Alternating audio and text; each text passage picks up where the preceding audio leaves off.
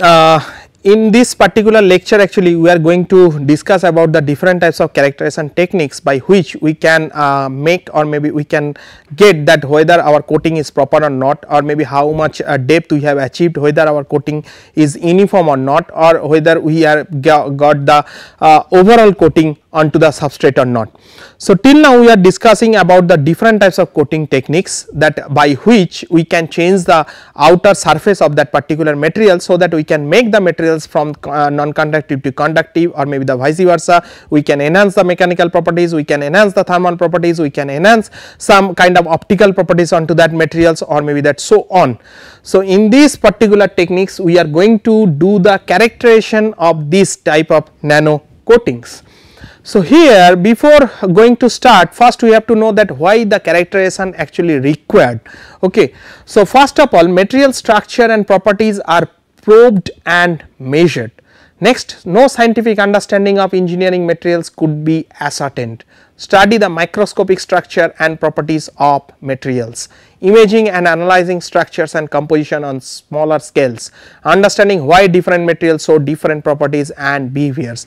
Unless and until we will know that what type of materials we are going to use, how they are adhering to the substrate itself, how they are working uh, as a coating materials whether there is any cracks or pores are available or not with how to uh, rectify these kind of problems we have to go for different kind of characterization techniques. So, from this particular figure we can see that what is the at different frequency that what is the magnitude of these nanoparticles onto the substrate itself and here we have shown some kind of FESEM image that when we are doing the coating of this kind of materials onto the substrate how the structure is going on. Because as we know that nanoparticles the biggest advantage of this one is that they are showing different properties about uh, it, uh, respective to their alignment. When they are horizontal when they are perpendicular so if it, the nanoparticles into the horizontal directions they will give one properties. If it, they are into the perpendicular positions they will give the another properties.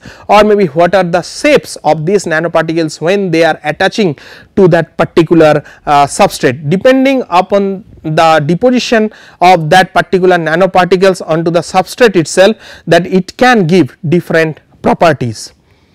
So, here there are several types of characterization techniques are available or maybe in our day to day life we are doing this kind of characterizations just to check whether our material is good enough to adhere these nanoparticles or maybe that nano coatings or maybe that nano coatings is good or bad or maybe there is any cracks or pores are available onto this substrate or not. So, when you are talking about the structural characterizations there are n number of applications like morphology, optical microscope, scanning electron microscope, atomic force microscope, scanning tunneling microscope, crystal structure, X-ray diffraction, transmission electron microscope, compositions, what is the compositions of this particular uh, coating materials then energy dispersive uh, spectroscopy in short form it is known as the EDS and then X-ray photon spectroscopy in a short form it is known as the XPS techniques. And when we are talking about the optical properties of these materials we have to check by through this type of characterizations. First one is called the light emissions then photoluminations Fourier transform infrared spectroscopy scanning tunneling near optical microscopy Raman spectroscopy. When we are talking about the electrical means electrical properties of that coating materials if we are going to measure we have to go for the Hall effect method we have to go for the 4 probe method.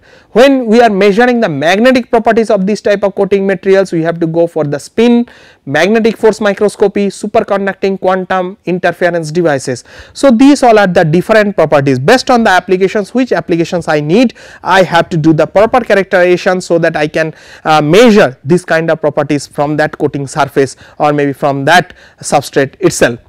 So, here some of the applications we have put or maybe we have made into red in color.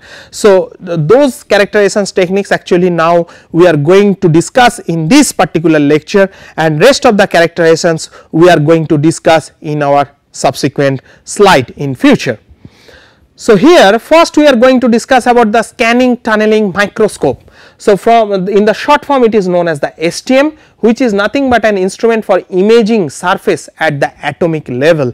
So, you can see in the nano level uh, we can measure this kind of uh, material uh, this kind of uh, technology. So, for measuring the surface morphology in the nanoscale level we can use this scanning tunneling microscope. For an STM good resolutions is considered to be 0.1 nanometer lateral resolutions and 0.01 nanometer depth resolutions. With these resolutions individual atoms within materials are routinely imaged and manipulated. The STM can be used not only in ultra high vacuum, but also in air, water and various other liquid or gas ambient and at temperatures ranging from near 0 Kelvin to a few hundred degree uh, Celsius.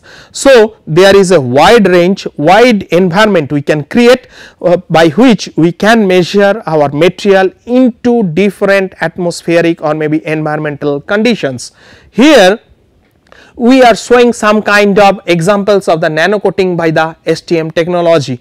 So, here the figure is something looking like this which is nothing but the STM image of self assembled supramolecular chains of the organic semiconductor quina uh, on graphite. So, on graphite surface we are doing the coating of this kind of materials so that we can uh, by this STM um, mm, uh, technology we are getting this kind of surface structure. Here is also the example that STM image of hydrogen absorbate structure following and preserving the Moiré pattern of graphene on 111 plane of iridium. So, on the graphene substrate we are showing that how after coating the material is looking like this and not only that we can get the surface roughness of that particular material whether the surface roughness of that particular material is smooth or maybe there is some roughness are present. So, here this is the overall image of that equipment which is known as the scanning tunneling microscopy it looks like this where the principle of this is that here we are having that tip which is actually moving onto the substrate itself which is gathering the image from that particular surface. Not only that it is giving you the surface roughness of that particular material. It is not actually touching. There should be a little bit gap in between your tip of the instrument and your surface. And here we are getting some kind of tunneling current amplifier then distance control and scanning unit because we have to because the our surface surface is not smooth maybe there is some reach point or maybe there is some down point. So, we have to check it out that our tip should not reach the surface substrate otherwise it will hamper. So, in that particular case we are getting the data and displaying that it is giving you the surface structure or maybe that surface structure of that particular coating materials onto the substrate itself. Next we are going to discuss is the FTIR techniques. So, FTIR is nothing but the Fourier transformed infrared spectroscopy or maybe that sometimes we are calling it as a FTIR technology. So, to a certain extent the characterization of the amorphous phase that is the nature of the chemical bonds involved is determined neither from X-ray diffraction nor from the electron diffraction. So, suppose generally for the maximum polymeric or rubber cases we are going to do this kind of FTIR uh, testing. So, from the FTIR testing actually it is giving you the what kind of bonding is taking place in between the substrate and the coating materials. Not only that sometimes it is giving that what type of bonding is taking place in between your nanoparticles or maybe the nanocomposites. So, here these techniques do not provide useful information concerning this phase. Other secondary methods are interesting to investigate chemical bonds like X-ray photoemission spectroscopy as well as Fourier transformed infrared spectroscopy or maybe the FTIR which can give you the structure of your particular materials not only that what is the chemical bonding formations is taking place inside your material. Let us consider the zirconia silicon nitrogen nanocomposite coatings. These techniques are used efficiently to prove zirconium nitrogen bonds silicon nitrogen bonds and a strong absorbance peak was observed at 930 per centimeter. So, here this is the FTIR spectra of zirconia nitride and silicon nitrogen uh, compound standards and of a zirconia silicon nitride film containing 5 atomic percent of silicon. So, here from this FTIR spectrum we can get the wave number in the transmission mode generally uh, two modes we can get this kind of uh, results one is called the absorptions another one is the transmission mode and generally it will give you the wave number. So, by getting this ridge or maybe that pattern we can match with our database that whether this is for the carboxyl group or maybe this is for the hydroxyl group or maybe this is for the other methane group. So, by this we can get that what type of material of coating is uh, we are depositing not only that what is the chemical structure of that final composite on uh, onto the substrate itself. So, it will give you one kind of element analysis all, all also it will give you one kind of chemical structure of your particular material. Next is called the XPS which is nothing but the X-ray photoelectron spectroscopy. This is also one kind of latest technology by which we can get a more detailed information about the chemical structure of that particular nanocomposites. So, X-ray photoelectron spectroscopy is used to investigate surface chemistry of a material. So, what type of materials we are going to coat onto the surface the chem total chemical structure of that particular material we can get by these techniques. So, here we have given some kind of examples. XPS studies of a platinum particles anchored on carbon doped TiO2 nanocoating supports are studied in this particular case. So, here the binding energy of platinum and titanium dioxide uh, uh, uh carbon doped are 464.6 and 458.9 electron volt which are higher than binding energies of TiO2 464.2 and 458.5 electron volt respectively. The higher binding energies of titanium 2p can be attributed to the oxygen vacancy defects resulting from carbon doping. Actually before going to do this kind of uh, coatings we can do the XPS studies and after coating we can do the XPS uh, studies and then from uh, the two results we can compare that before coatings what was the chemical structure of that particular material and after that what was the chemi uh, chemical structure of these coating materials so that we can compare easily the results in between these two. Not only that it will give you the informations about the carbon, it will give you the uh, informations about the oxygen, it will give you the informations about the nitrogen and the other materials too. So, by just getting the intensity of these particular materials and what is the binding energy we are achieving simply we can calculate that what is the percentage of material it has been attached, what is the uh, structure chemical structure it is forming inside the materials. Next we are trying to measure that what is the coating thickness of this particular uh, uh, coatings onto the substrate itself. So, till now we are discussing about the coating, we are discussing about the different layer formations onto the substrate itself, but in this particular case we are trying to measure the coating thickness whether that coating is uniform or not, how much materials are present onto that substrate or not and what is the thickness whether that thickness is uniform towards the surface of that materials or not. So, the principle of the Calo test is to determine the thickness of the thin films.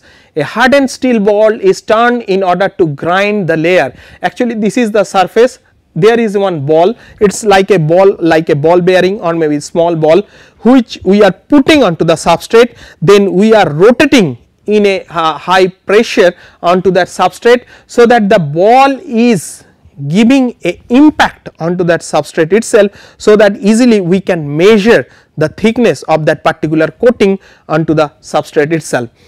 Since many films are harder than the steel ball used, additional diamond suspension is placed between the films and the steel ball using a pipette. Sometimes we are putting some kind of diamonds that means some kind of impregnated diamonds in that particular region so that the impact will be more.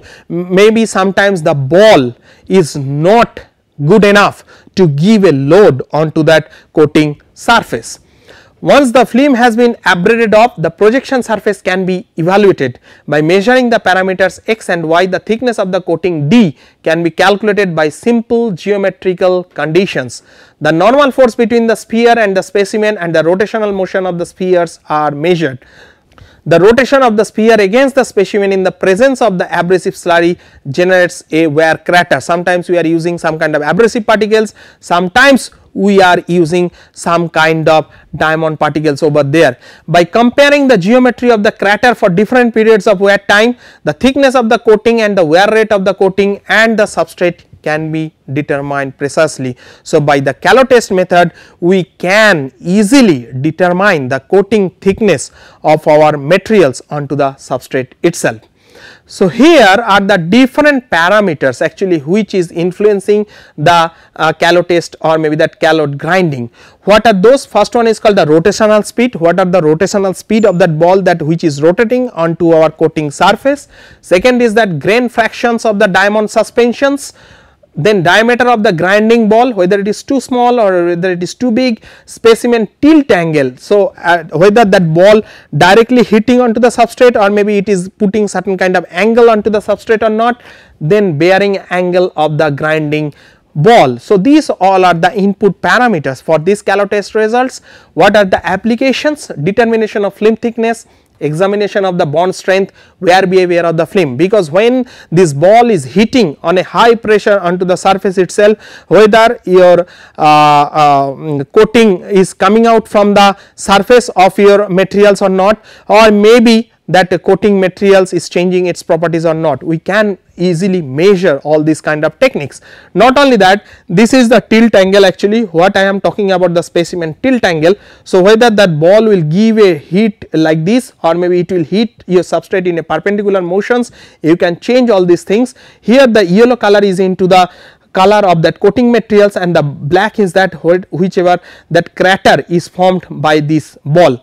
So, here this one is the holder then we are having the clamp by which we are holding our uh, specimens or maybe that substrate and then we are putting some kind of diamond paste or maybe the diamond slurry and that ball is rotating in a high velocity and not only that it is giving a normal load to the substrate by which a hole is creating onto the surface. Then from this image software uses a simple formula to calculate the coating thickness is T is equal to x into y by phi ball means ball diameter of that particular ball. By applying this we can measure what is the coating thickness onto the substrate itself.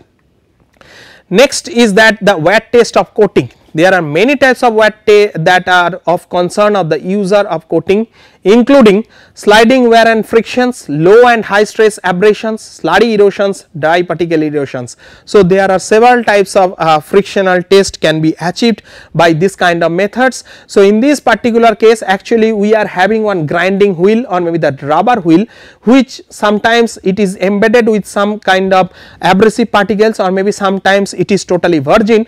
In between our uh, test specimens or maybe the substrate we are putting some kind of sand or maybe some kind of abrasive particle so that the rubber is getting stick with that uh, sand particles and then continuously it is rubbing our test specimens. So, after finishing these results before weight and after weight if you uh, decrease this to weight uh, sorry if we minus this to weight we will get that how much mass loss is taking place in the form of a mass uh, fractions or maybe sometimes we can calculate the volume of that particular wear by these kind of methods. So, here also we are using some kind of normal load so that that specimen is giving a continuous load onto our rubber wheel. In practice it is possible for a coating to wear and the substrate to be unaffected. Also the substrate may deform without any noticeable wear of the coating. So, how much mass actually it is losing depending upon that we can calculate that how much wear is taking place onto our coating surface. Next is that in selecting a suitable wear test the following point should be considered. So, first one is that ensure that the test selected is measuring the desired properties of a material.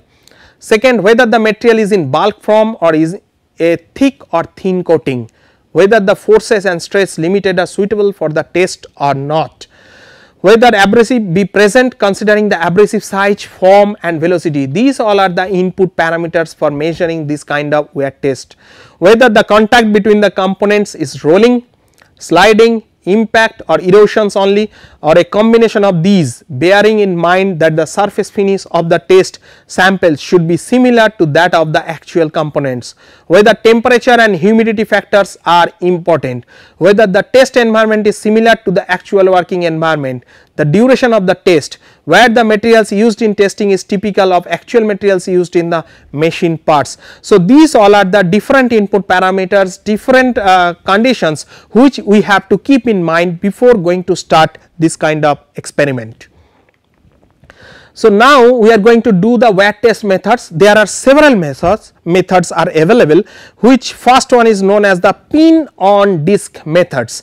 So, in pin on disc methods we are making a uh, our sample in a pin formations. So, there is one pin holder which is in which is holding our materials in a pin form and then we are having a disc that disc is made by some kind of abrasive particles. So, our pin or maybe our substrate materials is giving a continuous load onto the disc and this disc is rotating by a motor into different RPM. We can change the rotational speed of our particular uh, abrasive uh, disc.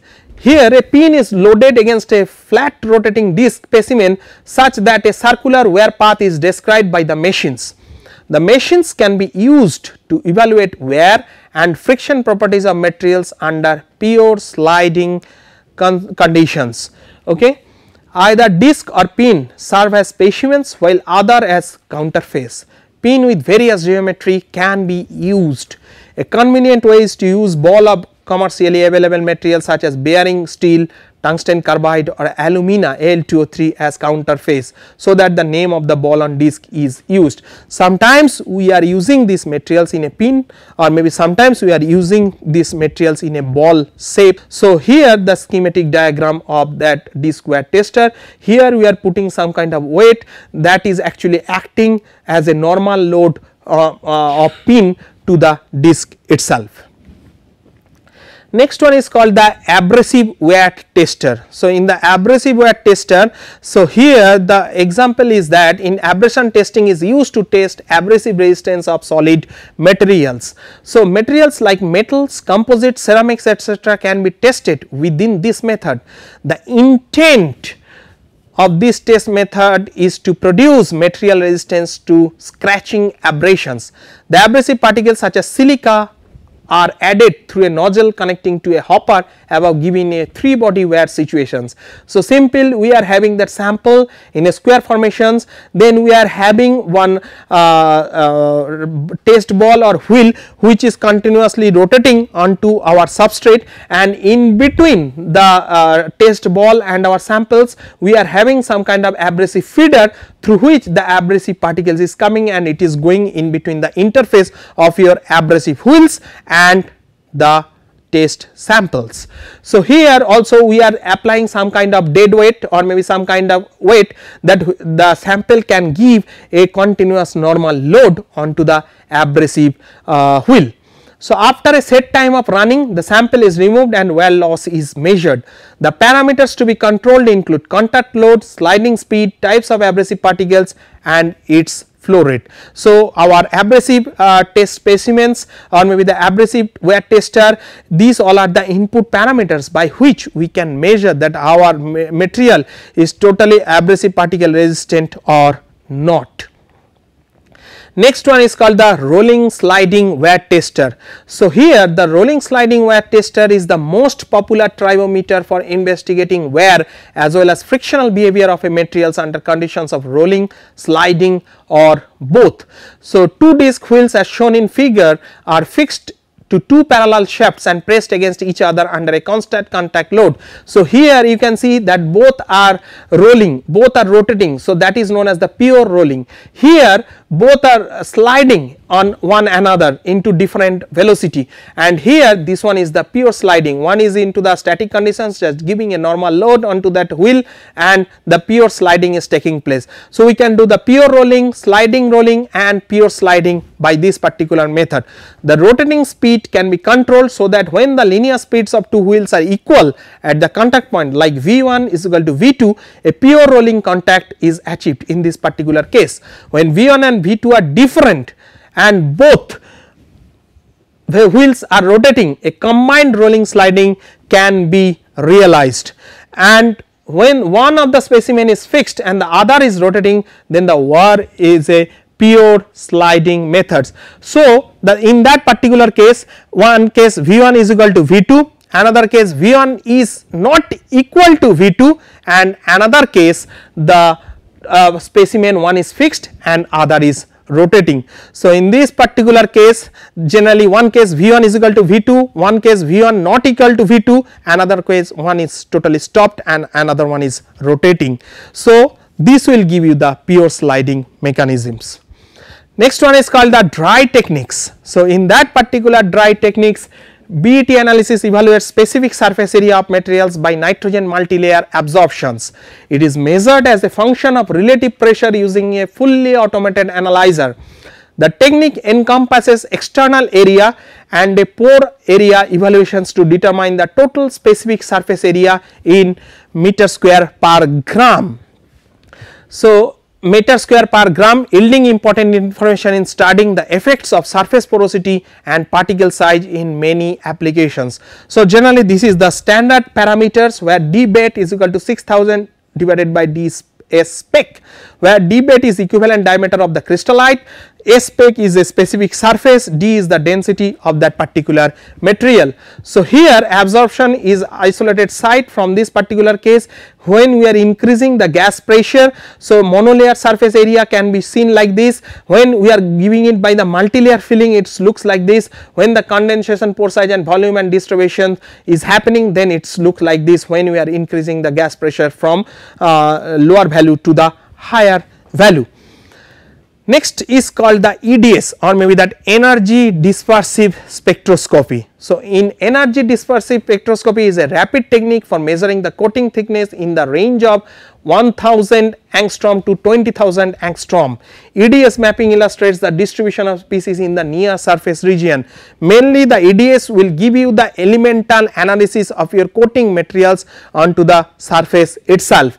So, energy dispersive spectroscopy features elemental concentration from atomic number 6 to 92 1 to 3 micrometer analysis depth, backscattered electron imaging, color maps and line scans. So, here it is giving you the FESEM image also it is giving you the elemental analysis that what is the percentage of different materials are present into the coating materials. Suppose I am giving a coating of any copper or aluminum coating then what is the percentage of aluminum are present, what is the percentage of uh, magnesiums are present, what is the percentage of oxygen, maybe carbon, maybe nitrogen are present in the species, it will give you the total elemental mapping of that particular coating materials. So, SEM micrographs of a typical coating surface landscapes, B is the enlarged view of a surface tubular structure, C is the EDS elemental analysis. And D is the deposition rate of that particular materials onto the substrate itself.